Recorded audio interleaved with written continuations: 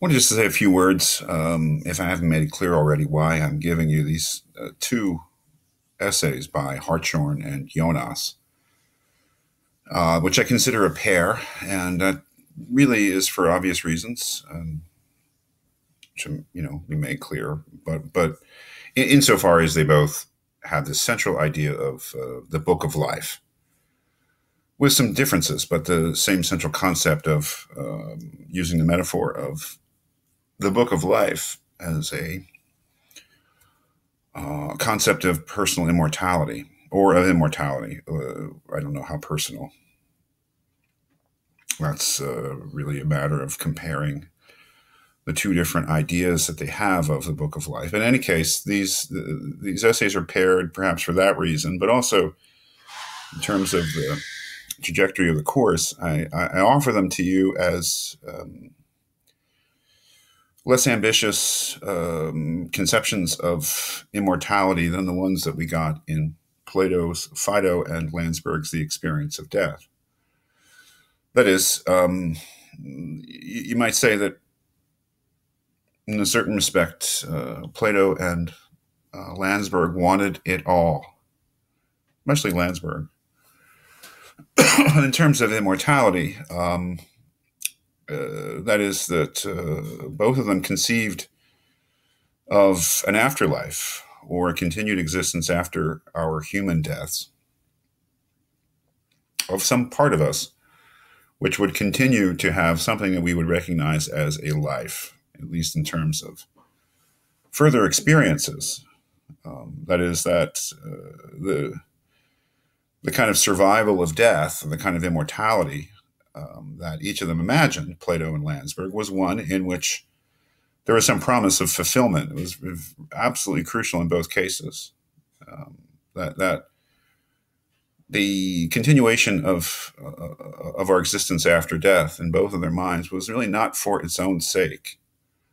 That is not for the, the mere sake of the extension of our existence, but rather that in both cases it was a matter of fulfillment that is, that that continued experience that I, after death, in some form, continue to have experience was really for the sake of the kind of experience that I would have. Well, remember that in, in Plato's case, he believed that um, the separation of soul and body was an event of great rejoicing for the philosopher, because it was then that the philosopher, freed from the shackles of the body, um, could find uh, real truth for the first time. So death is a kind of fulfillment of the philosophical uh, enterprise. With uh, Landsberg, uh, a somewhat different idea, well, a very different idea, the idea that the uh, individual, in a broader sense, can only become what he or she is meant to become uh, by going through death.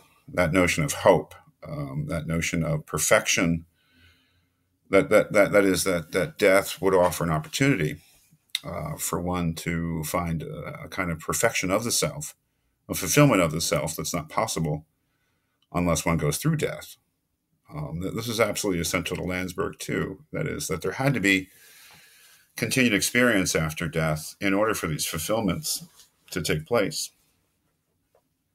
One of the things that ties together uh, Hans Jonas's conception of the, the book of life in um, this essay, Immortality in the Modern Temper, and Charles Hartshorne's uh, conception of the book of one's life, a different, sort of different thing, but a slightly different thing in uh, Time, Death, and Eternal Life, is that each of them agrees, uh, perhaps Hartshorne more explicitly than Jonas, that, that death is the end of, of one's personal experience or the uh, end of all experience. That, that immortality in their mind should not be seen as uh, some sort of continuation of um, life as we know it or life as we can possibly imagine it. That is a life that would entail consciousness, uh, new thoughts, new things, new experiences in general. But that uh, our lives were complete upon our death.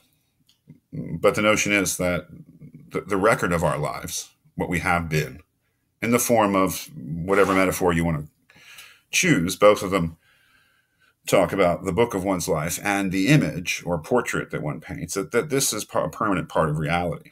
And of course, it takes a theological view, as we see as well.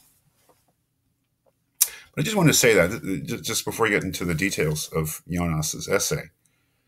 And the reason I'm giving you both of these essays is to provide you with an alternative to the very ambitious notions of immortality that the previous two authors gave, with, with something that I'm not saying it's more plausible, but something that's cer- certainly a more moderate and less ambitious notion of what immortality could mean.